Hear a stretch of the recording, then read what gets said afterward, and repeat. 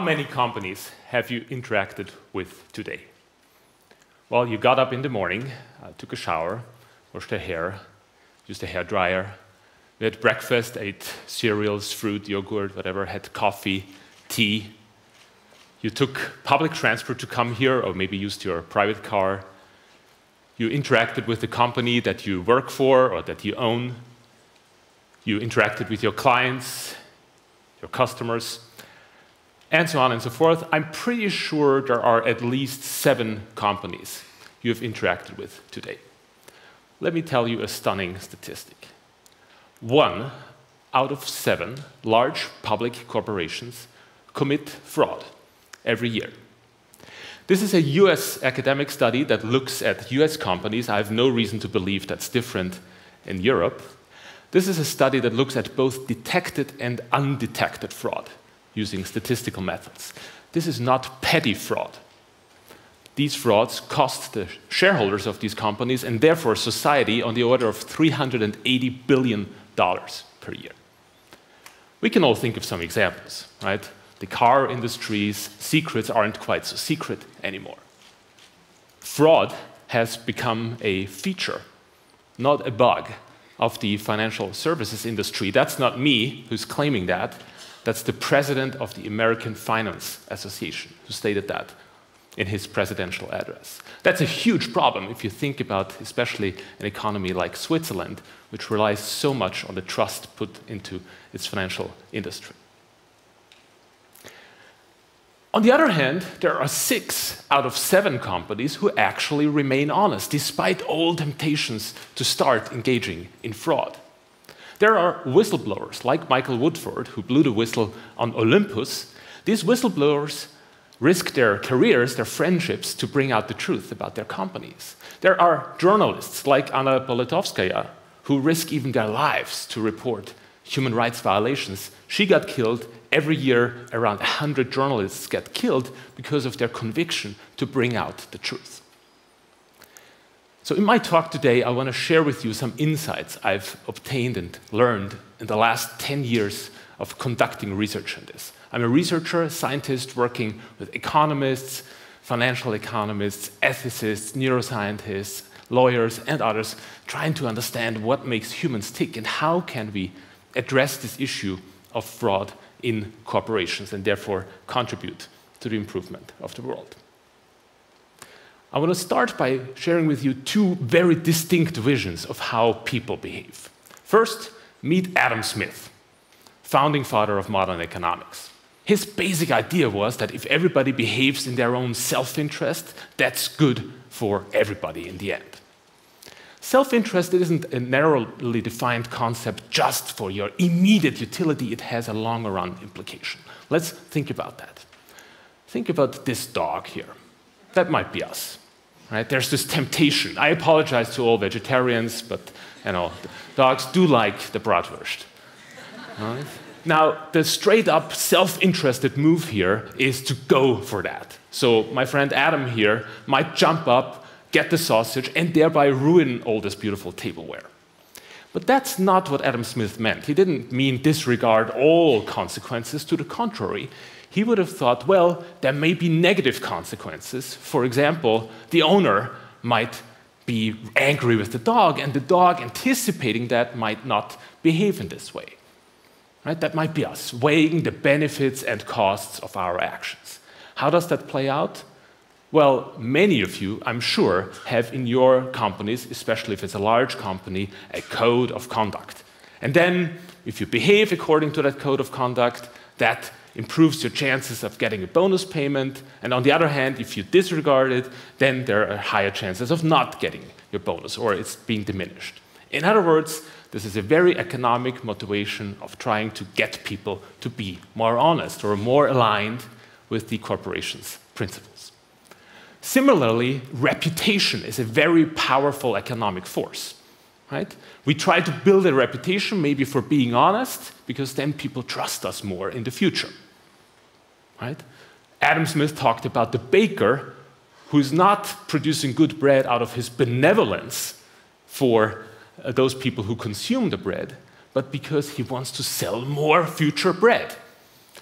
In my research, We find, for example, at the University of Zurich that Swiss banks who get caught up in media and in the context, for example, of tax evasion, of tax fraud, have bad media coverage, they lose net new money in the future and therefore make lower profits. That's a very powerful reputational force.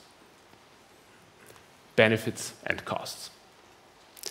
Here's another viewpoint of the world. Meet Immanuel Kant, 18th century German philosopher superstar. He developed this notion that independent of the consequences, some actions are just right and some are just wrong. It's just wrong to lie, for example. So, meet my friend Emmanuel here. He knows, yeah, the sausage is very tasty, but he's gonna turn away because he's a good dog. He knows it's wrong to jump up and risk ruining all this beautiful tableware. If you believe that people are motivated like that, then all this stuff about incentives, all this stuff about code of conduct and bonus systems and so on doesn't make a whole lot of sense. Right? People are motivated by different values, perhaps. So, what are people actually motivated for or by? Right? These two gentlemen here have perfect hairdo, but they give us very different views of the world. What do we do with this? Well, I'm an economist, and we conduct so called experiments to address this issue. We strip away facts which are confusing in reality. Reality is so rich, there's so much going on, it's almost impossible to know what drives people's behavior, really. So let's do a little experiment together. Imagine the following situation you're in a room alone, not like here. There's a five franc coin like the one I'm holding up right now in front of you. Here are your instructions. Toss the coin four times, and then on a computer terminal in front of you, enter the number of times tails came up. This is the situation here. Here's the rub. For every time you announce that you had a tails throw, you get paid five francs. So if you say, I had two tails throws, you get paid 10 francs. If you say you had zero, you get paid zero francs. If you say I had four tails throws, then you get paid 20 francs. It's anonymous, nobody's watching what you're doing, and you get paid that money anonymously. I got two questions for you. you know what's coming now, right? First, how would you behave in that situation? And second, look to your left and look to your right and think about how the person sitting next to you might behave in that situation. We did this experiment for real. We did it at the Manifesta art exhibition that took place here in Zurich recently, not with students in the lab at the uh, university, but with the real population, like you guys. First, a quick reminder of stats. If I throw the coin four times and it's a fair coin, then the probability that it comes up four times tails is 6.25%. And I hope you can intuitively see that the probability that all four of them are tails is much lower than two of them are tails, right? Here's what happened. People did this experiment for real. Around 35 to uh, 30 to 35% of people said, well, I had four tails throws. That's extremely unlikely. But the really amazing thing here, perhaps to an economist, is there are around 65% of people who did not say, I had four tails throws. Even though in that situation, nobody is watching you, the only consequence that's in place is you get more money if you say four than less. You leave 20 francs on the table by announcing maybe zero. I don't know whether the, the, other people all were honest or whether they also said a little bit higher or lower than what they did because it's anonymous. We only observe the distribution. But what I can tell you, and here's another coin toss, there you go, it's tails. all right. don't, don't, don't check, okay? what I can tell you is that not everybody behaved like Adam Smith would have predicted that. So, what does that leave us with? Well, it seems people are motivated by certain intrinsic values. And in our research, we look at this. We look at the idea that people have so called protected values. A protected value isn't just any value, a protected value is a value where you're willing to pay a price to uphold that value. You're willing to pay a price to withstand the temptation to give in. And the consequence is you feel better if you earn money in a way that's consistent with your values. Let me show you this again in the metaphor of our beloved dog here. If we succeed in getting the sausage without violating our values, then the sausage tastes better. That's what our research shows.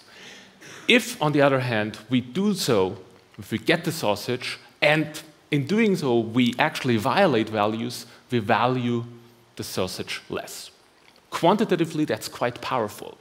We can measure these protected values, for example, by a survey measure. Simple nine item survey that's quite predictive in these experiments. If you think about the average of the population and then there's a distribution around that, people are different. We all are different. People who have a set of protected values that's one standard deviation above the average they discount money they receive by lying by about 25%. That means a dollar received when lying is worth to them only 75 cents. Without any incentives you put in place for them to behave honestly, it's their intrinsic motivation. By the way, I'm not a moral authority. I'm not saying I have all these beautiful values, right? But I'm interested in how people behave and how we can leverage that richness in human nature to actually improve the workings of our organizations. So there are two very, very different visions here. On the one hand, you can appeal to benefits and costs and try to get people to behave according to them. On the other hand, you can select people who have the values and the desirable characteristics, of course, competencies that go in line with your organization. I do not yet know where these protected values really come from. Is it nurture or is it nature? What I can tell you is that the distribution looks pretty similar for men and women. It looks pretty similar for those who had studied economics or those who had studied psychology. It looks even pretty similar around different age categories among adults, but I don't know yet how this develops over a lifetime. That will be the subject of future research. The idea I want to leave you with is it's all right to appeal to incentives. I'm an economist. I certainly believe in the fact that incentives work. But do think about selecting the right people rather than having people and then putting incentives in place. Selecting the right people with the right values may go a long way to saving a lot of trouble and a lot of money in your organizations. In other words, it will pay off to put people first. Thank you.